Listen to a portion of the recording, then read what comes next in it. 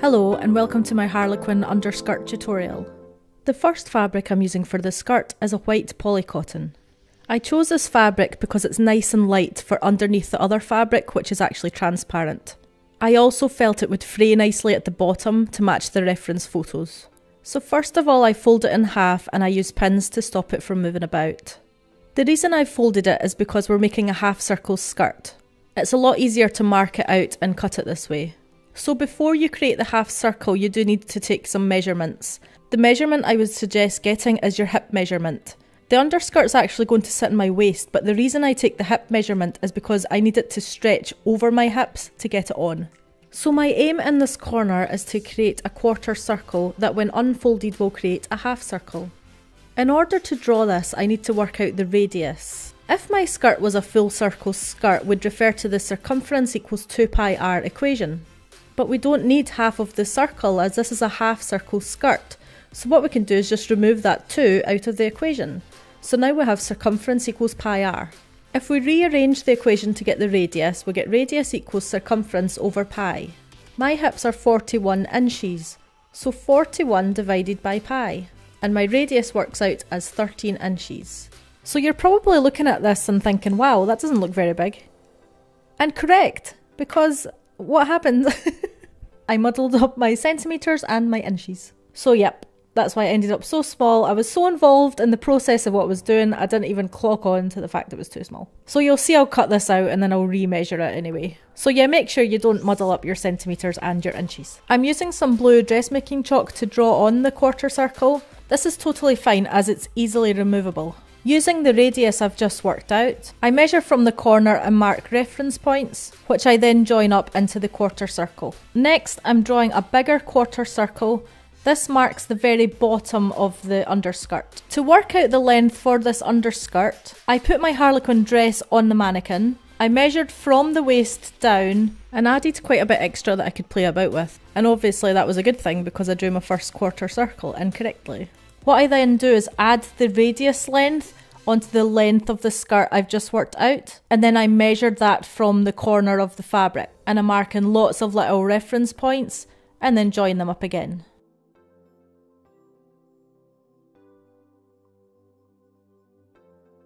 We can now go ahead and cut our quarter circles out with fabric scissors. Obviously keeping in mind I do change the top quarter circle due to my error.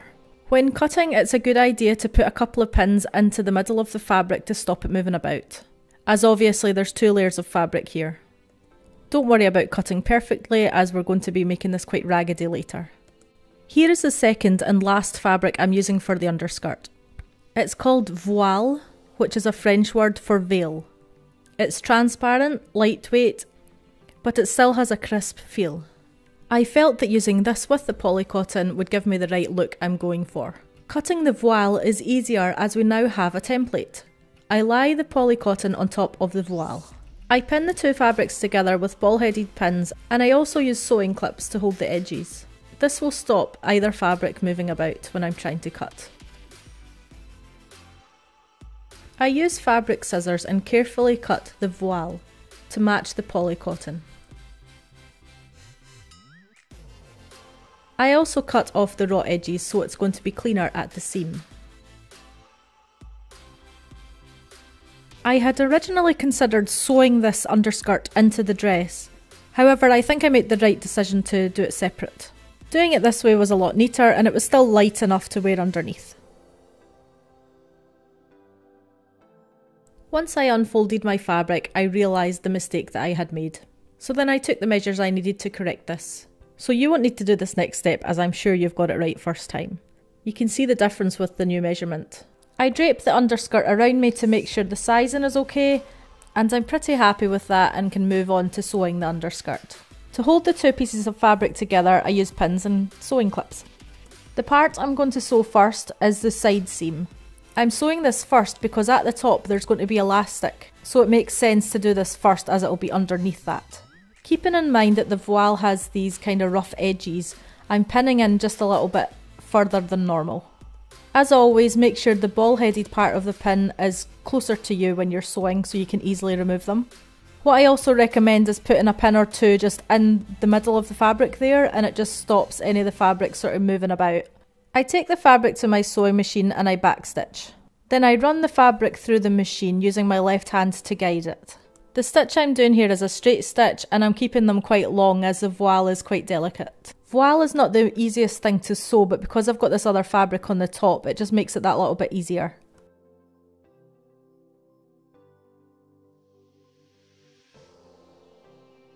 When you get to the end back stitch, this will secure your stitching so it doesn't come out. After I've done one row of stitching, I go back and do a second row. I do the second row of stitching inside the seam and I make it a zigzag stitch. Zigzag stitches are really helpful to stop fraying, so that's why I've done this. Now that we've sewed the side seam, it's time to work on the waist. I've obviously got my pins in holding the two bits of fabric together. If you find it easier to gather this fabric open-ended, then you can always do this step before the side seam. Before you start gathering, pull your threads away from the machine. This gives you something to hold on to when you're ruching the fabric later. This is a temporary stitch so you don't want to do a back stitch. You want to be able to comfortably move this fabric along the threads. Again I use a slightly bigger seam allowance. This is because the voile is quite delicate and could potentially fray. I continue around the top of the skirt until I almost reach the starting point.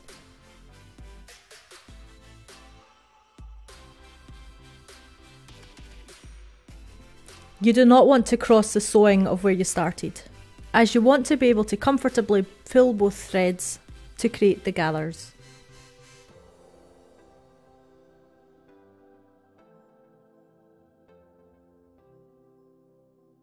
To gather the top of the underskirt, I first double check my measurement. It's still roughly about my hip measurement, which is 41 inches. My waist is 28 inches, so I want to gather this enough to get the waist to that length. And since I'm measuring half of it, you can see it would be 14 inches on this side. To gather the fabric, hold the ends of the threads. Then with your other hand, move the fabric along the thread. The fabric starts to gather and the overall length becomes shorter.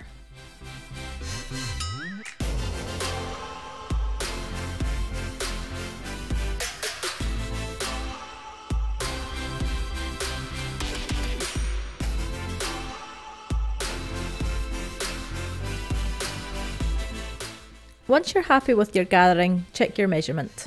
This worked out to be a little bit too small, so then I relaxed the gathers to make the top of my skirt a little bit bigger. Now I'm happy with the waist measurement, so I'm going to add elastic onto the top. I'm keeping the elastic visible as you won't see it underneath the dress. It means I can take it on and off without any sort of zips or fastenings, and it will keep it sitting securely around my waist. So how long would we make the elastic? What to do is put it around your waist and hold it taut. There's obviously going to be an overlap, so take that into account. I made my overlap about 3 inches. This way when I sew it together it should be pretty secure.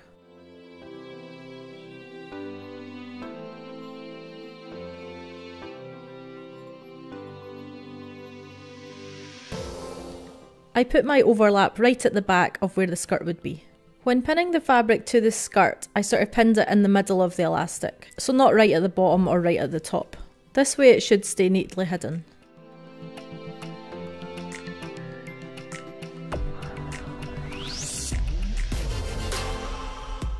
Once I was happy with the placement of the pins, I took the underskirt to the sewing machine. This part obviously needs to stretch, so we use a zigzag stitch. The first thing I do is sew the very back part where they overlap. I first of all sew in a rectangular shape around the actual overlap, then I do a sort of X shape in the middle like a cross. This ensures the overlap is secure in the middle. A good tip when you need to change direction of where you're sewing is to pull the pressure lever foot up with the needle down in the fabric. This creates a pivot and you can move it around the needle. This only works if the needle is down into the fabric. You can then put your pressure foot lever back down and continue sewing.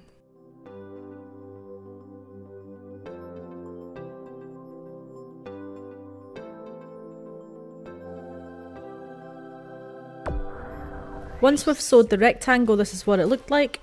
You can actually sew the rectangle and the X in one go, there's a way to do it, but this I just did it separately.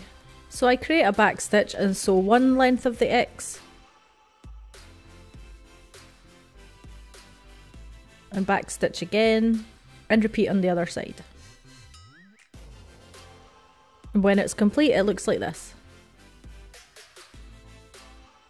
Next I sew the full length of elastic to my underskirt. I backstitch first and I use a zigzag stitch. The zigzag stitches I use are long and wide. This allows for extra stretch. And it doesn't matter what the stitches look like because we cannot see them under the dress. I do two lines of these stitches and then afterwards you can remove the gathered stitching that we had before, the temporary stitch. Once the underskirt was made, this is what it looked like. And if I lower myself to waist level, you can see it's just long enough to stick out below the skirt of the dress. This gives us a lot of room to be able to shape it. I put my underskirt onto the mannequin underneath the dress. I be sure to check that the elastic is sitting snugly on the waist. This is important as you are cutting the fabric to match the dress. I then cut it about 3 or 4 inches below the skirt and follow the isometric sort of sweep of the skirt. When cutting, please be careful not to cut the dress. Once I'm happy with the front, I turn the mannequin around and then repeat the process again. These are just very rough shapes, we will be doing more work to these soon. So make sure you have enough fabric to work with.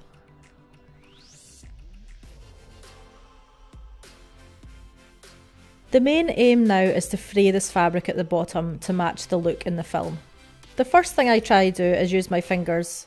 This is successful for very subtle fraying, and it doesn't take too long either. I do this around the whole dress.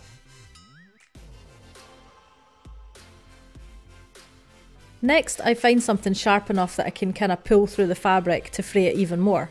I grab a fork. I don't want anything too sharp because I don't want to hurt myself, and I feel like a fork would be quite good at ripping this. I put the fork through parts of the fabric, and then I just pull it. When I'm doing this process, I start to see that it's a bit easier just using one of the prongs on the fork. This way I can get right into the fabric and pull it to create tears at the end. I'm really liking the look of this and so continue around the whole of the underskirt.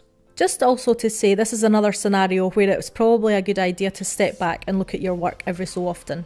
You can really get involved in what you're doing and then forget to check it and look back and see if it looks okay.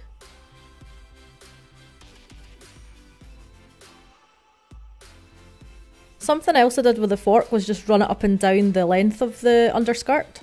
It created some nice runs in the fabric. They were subtle but looked good. Another good way to fray the ends is to take the fabric scissors and just run them along the length of it. I wanted some parts of my skirt to be a bit longer. I think this looks more realistic, so that's what I'm doing with this piece of fabric right here. You can see I do a combination of the scissors and the fork. It's often good to change up the technique that you're using. It can make it look more dynamic and realistic. To weather the underskirt, I use the same process as the dress. I take black acrylic paint mix it with water and apply to the ends. I take my paintbrush and apply the mix and then use some kitchen roll to dab it off. This leaves a residue and gives the look I want. I continue this process around the skirt, being sure to apply it to both the fabrics.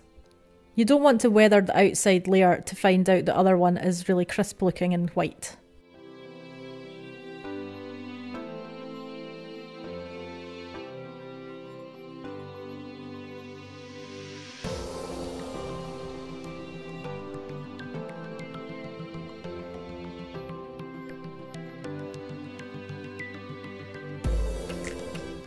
I make sure to weather underneath the fabric also.